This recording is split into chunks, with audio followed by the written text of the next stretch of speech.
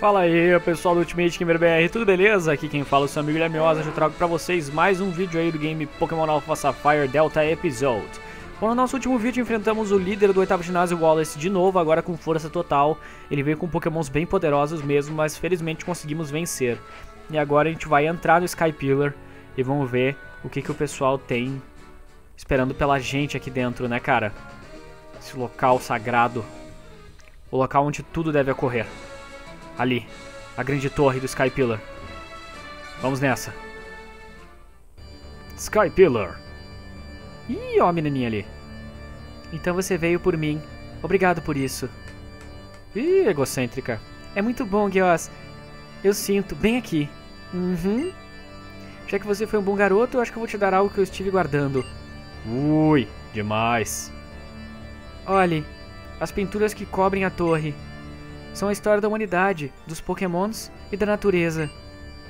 Existem lendas que foram passadas de geração em geração para os meus ancestrais, os Draconides, por milhares de anos. E agora eu passarei a história a você. Milhares de anos atrás, quando a gente tinha ainda a Era Primordial, o mundo estava sobrecarregado por energia natural.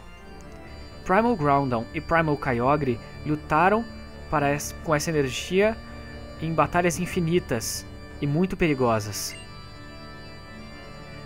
Em frente ao grande poder do Primal Groudon e Kyogre, as pessoas não podiam fazer nada. A única escolha era observar enquanto desastre sobre desastre surgia desses confrontos. Foi naquela hora que um grande número de meteoros subiu e descendeu da escuridão do espaço, de um lugar ainda mais alto que os céus. E os meteoritos caíram em multitude acima de uma catarata que uma vez tinha sido a casa de uma tribo de usuários de Pokémon Dragão. Ok, é isso. Esse é o final do primeiro capítulo da minha história. Eu vou te contar a próxima no próximo andar. Ok, né? Tá, mas por que é tão difícil assim subir essa Sky Tower? Ou melhor, tem alguma coisa por aqui? Algum item? Sim, eu vou usar repel direto, velho. Tenho medo dos Pokémon que pode surgir aqui, cara. Deve ser cabuloso, tá ligado? Haha! Achei uma outra escada. Pokébola. Dragon Scale. Opa! Uma escama de dragão. Tá bom. Mas não era isso que eu tava procurando, né? Então aqui deve ser tudo Pokémon dragão, tá ligado? Daqui tô andando sem repel contra um Dragonite. Diz que duvida. Quem é que tá gritando comigo aqui? Ó! Oh. Vou te pegar. Ô, oh, droga. Que Pokémon é esse? Eu quero descobrir que porcaria é essa. É um Gabite? Não, Sableye. Sableye. Hum, Sableye level 44. Não, não. Corre. Ah, que lixo. Eu achei que era um Pokémon dragão. Era um Sableye. Que nojo. Vamos subir. Sobe! Seria engraçado caísse esse cara caísse junto. Seria aquele Rue, né? O que são essas luzes ali? Opa, olha ali a menininha. Ah, aqui está você. Vamos continuar. É finalmente a hora do capítulo 2. Aqui vai. Beleza, né? Eu sei que você está emocionado. Os meteoros brilhavam como arco-íris, como se tivesse vida dentro deles. Foi então quando, por este brilho, um Pokémon que brilhava em cor de esmeralda descendeu dos céus. Aquele Pokémon não era nada mais nada menos que Rayquaza, os poderes de Rayquaza superaram dos dois Pokémons primordiais e a paz retornou ao mundo. O povo de Hoenn reverenciou Rayquaza como um verdadeiro salvador. Milhares de anos depois deste tempo, os meteoritos caíram mais uma vez. Um meteorito gigante, muito maior que o anterior, acertou o planeta, perturbando o oceano e deixando para trás uma cratera maior que a última. A Terra, nascida desse evento, foi conhecida como Sultópolis. E é isso aí, capítulo 2 acabou. Bom, nós só começamos. Tem muito caminho ainda, então não caia. Ok, né? A menina vai ficar fa fazendo perseguir ela pra contar a historinha. E Laia. Que diversão. Bom, a nossa lenda chega na melhor parte. Sotópolis nasceu de um grande meteoro. Claro. Se tu diz, né? O grande meteorito foi o primeiro de muitos desastres a atingir a humanidade. Quando ele atingiu o planeta, a Terra rachou e uma grande quantidade de energia natural foi despejada em Hoenn. Com sede por essa energia, Primal Kyogre e Primal Groudon despertaram mais uma vez. O povo tinha um desejo, uma memória de milhares de anos atrás. Eles desejaram que o Pokémon lendário, que brilhava em esmeralda, aparecesse de novo. O grande meteorito, que brilhava no coração de Sotópolis, brilhou ainda mais. Com isso, ele transformou-se numa Keystone. E mais uma vez, Rayquaza descendeu dos céus. As pessoas ficaram de joelhos perante Rayquaza e fizeram um desejo para que ele salvasse-as. E, como fizeram, uma grande mudança veio no Pokémon lendário. Ele foi coberto por uma luz, uma luz que rescindiu, transformando Rayquaza, evoluindo acima de todo conhecimento, uma figura sublime, incandescente com força de vida fenomenal. Foi o desejo da humanidade que trouxe a transformação de Rayquaza em frente a Ravenstone, a Pedra do Arco-Íris. Sim, um desejo, uma coisa intangível, invisível aos olhos. Ainda assim, esse desejo uniu pessoas e pokémons, permitindo que o Pokémon lendário mudasse sua aparência. Não te lembra de algo? É isso mesmo. Parece a Mega Evolução, não é? É exatamente a história da Mega Evolução. Aí tem treta, hein? Aí tem treta, meu amor. Tem treta pra caramba aqui. Já estou vendo onde vai terminar essa história, né? Ó, oh, pokémons pra todo lado. Ó a minazinha ali de novo. E como a história acabou, depois de ser transformado pelo desejo da pessoa, o Rayquaza salvou-os do desastre? Será? Acho que sim, hein? Rayquaza mais uma vez confrontou o Primal Groudon e Primal Kyogre. Os filamentos dourados que passavam por seu corpo cobriram os céus. Um brilho esmeralda iluminou a área. Um terrível vento se espalhou. O vento e a esmeralda sugaram o poder de Primal Groudon e Primal Kyogre. Drenando seus poderes primários, os dois desapareceram nos confins da terra e do oceano. Rayquaza observou eles irem, reganhando sua forma natural. Então, ele voltou para os céus, de onde tinha vindo.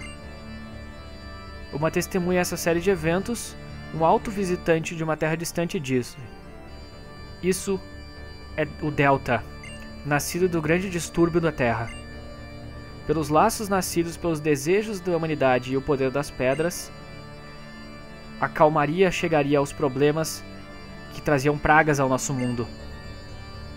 Foi quando os Draconoides construíram sua grande torre, para segurar a Ravenstone que tinha dado poder a Rayquaza e tentar chegar um pouco mais perto dos céus onde o Pokémon estava. Para gravar a história de seus desafios e os grandes feitos do grande Rayquaza, eles deixaram para trás murais que você vê aqui. Faz sentido. Uma torre gigante e pinturas do passado. Sabe? Eu sinto como se tivesse acontecido algo assim recentemente. Ha! mas eu acho que tá na hora do último capítulo da nossa história. Ah, eu quero ver o último capítulo, com licença! Vamos lá! Tá, pera aí. Tá, não é pra cá, é pra cá. Para lá de bom grado eu vou. Cheguei, menina. Finalmente chegamos no capítulo final. Aleluia! Milhares de anos de paz se seguiram após o tempo desastroso, mas o povo draconoide sabendo da sua história cíclica natural, previu que os meteoritos iriam cair na Terra de novo. O meteorito veio, eles profetizaram, e seria ainda maior do que os outros que vieram antes. Esse meteorito seria grande o bastante para quebrar o mundo para sempre. Para prevenir a calamidade, aqueles que tinham conhecimento do passado pensaram num plano. O seu plano era invocar Rayquaza, o grande salvador, e invocá-lo para essa terra antes do meteorito atingir a Terra. E é isso. Esse é o final da nossa, da lenda dos Draconides. Eu passei muito tempo pensando em como podia proteger a felicidade de muitas pessoas. O que eu devo fazer como aquela que segura o conhecimento e o poder. Aquele que segura os desejos pesados daqueles que não puderam desejar, vivendo para o destino. Ha, eu tive que ser muito criativa, sabe? Faz sentido. Tem uma coisa pra cá? Tem umas escadas loucas aqui. Ah, eu sei o que, dá pra pegar. Dá pra pegar aquela Pokébola dourada que eu tinha visto. Quero pegar, hein? Vamos um repel. Eu já vou lá pra cima. Só quero ver o que, que tem aqui, cara. Que porcaria de TM é esse? TM64 Explosion. Que lixo. É, tipo Self-Destruction, só que mais, tá ligado? Acho que tira 250 isso aqui. Quase impossível sobreviver, mas claro que o Pokémon morre junto, né? Muito óbvio isso aqui. A questão é, será que aquela habilidade lá, o Sturdy, funciona? Não, porque senão os Geodudes se autodestruiriam e sobreviveriam. Pode crer. Bom, chegamos no topo. Ih, caramba. Agora ferrou. As estrelas estão brilhando. Vê, Esther. Sempre quis ver as estrelas, não é? As Little Nits. Um milhão de estrelas brilhantes caindo do céu. O show vai começar. Mar, Mar! Ah, você não tá feliz? Podia ser melhor, Esther? Ó, oh, símbolo delta. Bem-vindo ao altar, Dragonheart. Gios, você sabe o que eu tô tentando fazer aqui, não é? Sim. É isso mesmo. Eu vou invocar Raiquates para esse mundo para destruir o meteoro. Esse é o meu dever. Uh! Desde que eu era uma criancinha, eu sempre olhei para o céu. Quando eu estava tão cheia de incertezas, Parecia que meu coração iria ser destruído. Quando eu estava com tanto medo e sozinha, eu pensei que meu coração ia se quebrar. Então, eu me virei e olhei para cima. Então as minhas lágrimas nunca, nunca iriam cair. E você? Você tem alguma coisa como essas? Sim. Entendo. Eu costumo observar as estrelas todo o tempo junto com Esther. Nós estávamos sempre juntas, nos tempos bons e ruins. Eu amava ela, eu amava ela com tudo que tinha. Mas eu ainda perdi ela. Eu quero vê-la. Eu quero estar com ela de novo. Minha querida Esther. Mar? Eu irei, não vou? Com isso, só um pouco mais.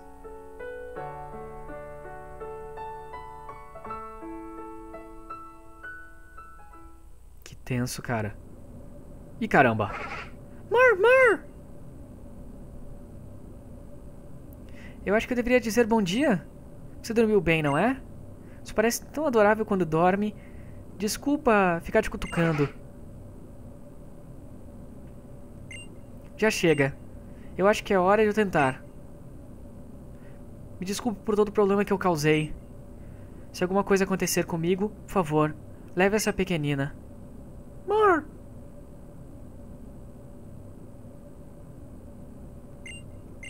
Ok, aqui vai.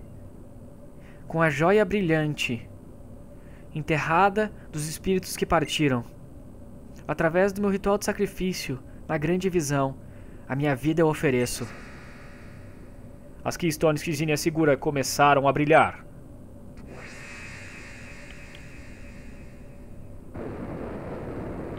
Ah, eu invoco ajuda para esta batalha. Salve-nos do desastre. Realize-os sobre este mundo. Por isso eu lhe invoco. Raiquatsa!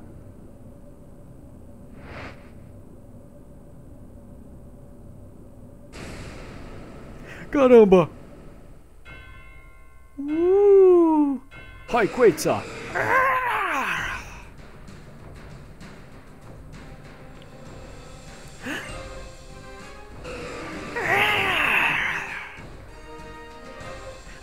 Raikwita, eu consegui!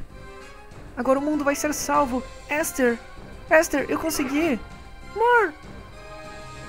Grande Raikwita, atenda meu pedido. Chegue à Mega Evolução. Receba seu poder total. Me mostre sua verdadeira face. O Raikwita que salvará esse planeta. A Keystone de Zinnia não reagiu. Hã? Como pode ser? Eu peguei todas as Keystones que poderiam te dar grande poder e te invoquei aqui. Você veio. E ainda. Por quê? Vamos lá! Mega evolua! Por quê? Por que você não. A Keystone dela não reagiu.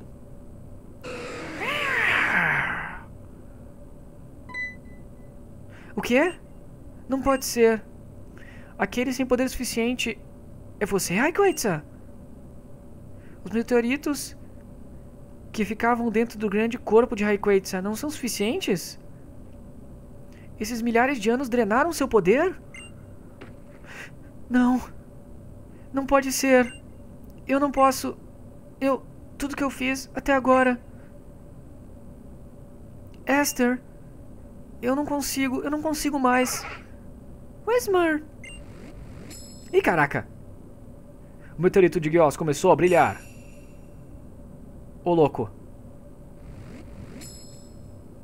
Isso.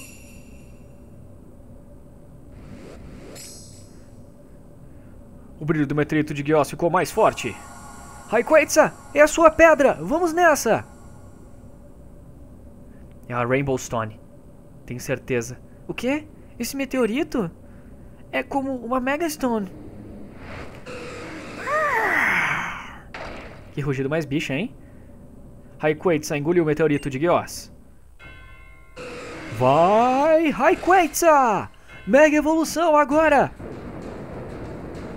A luz está saindo de dentro do corpo de Raikkoetsa. Vai, Raikkoetsa!